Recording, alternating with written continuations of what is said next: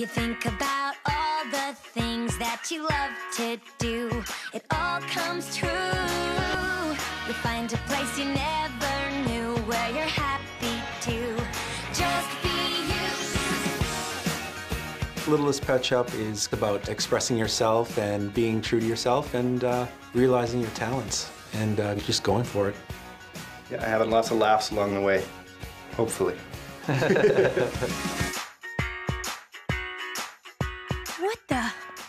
We're moving into a pet shop. Littlest Pet Shop. Huh. It all started when my dad and I moved to downtown city, right above Littlest Pet Shop. Much to my surprise, the pets started talking, and I could understand them. Wait, did you just say that you can understand us? So now I have a bunch of great new pet friends, and as you might imagine, we have some crazy adventures together.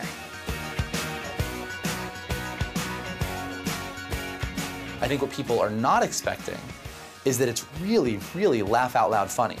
Let me handle this, Russell. Do you understand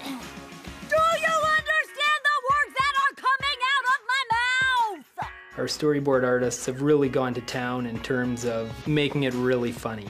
We just wanted the humor to work on a few different levels and appeal to younger kids and older kids. Girls are going to love it, but hopefully their brothers will too, and boys will love it and they'll find it on their own.